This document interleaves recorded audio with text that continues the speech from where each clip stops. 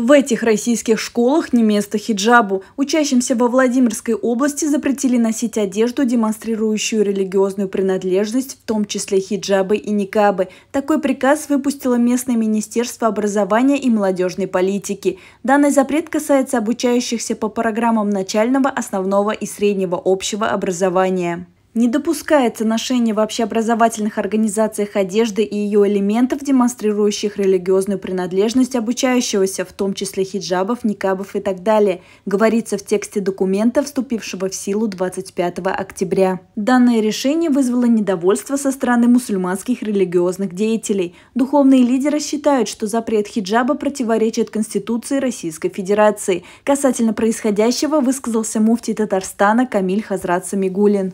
Быть покрытой для женщины – приказ Всевышнего, который практикующие мусульманки не приступят ни при каких обстоятельствах и под любой угрозой. Если платок запретят к ношению в общественных местах и в образовательных учреждениях, мы придем к тому, что девушки, соблюдающие религию, будут вынуждены перейти на домашнее обучение. Министерство образования и молодежной политики Владимирской области также опубликовало пояснение относительно своего приказа. В соответствии с Конституцией Российской Федерации Россия является светским государством. Церковь отделена от государства, в том числе от сферы светского образования. Одежда учащихся не должна содержать религиозных атрибутов. Подобное правовое регулирование полностью соответствует федеральному закону о свободе совести и религиозных объединениях и федеральному закону об образовании. Известный адвокат Руслан Нагиев, неоднократно защищавший интересы мусульманок, которым запрещали носить платок в учебных заведениях, прокомментировал ситуацию с юридической точки зрения. Конституция России и федеральное законодательство гарантируют